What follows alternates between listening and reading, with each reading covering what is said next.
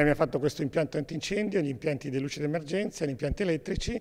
Questo impianto antincendio eh, proteggerà eh, il palazzo e anche tutte le opere d'arte che sono contenute qui all'interno, quindi davvero andiamo a salvaguardare un bene storico di, di Chiavere e dei chiavaresi.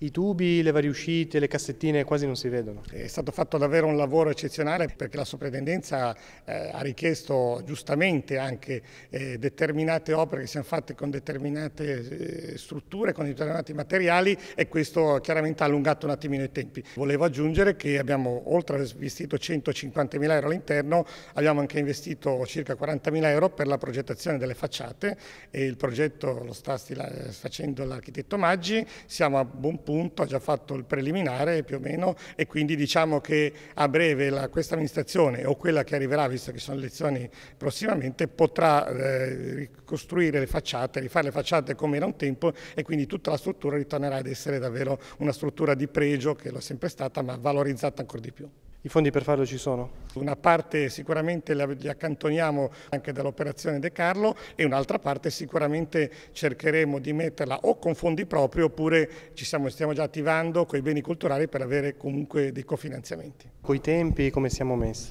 Beh, coi tempi dipende anche lì dalla soprintendenza. Purtroppo la soprintendenza è un ente importantissimo ma anche dei tempi lunghissimi. Questo non, è, non vuole essere una critica ma è la verità.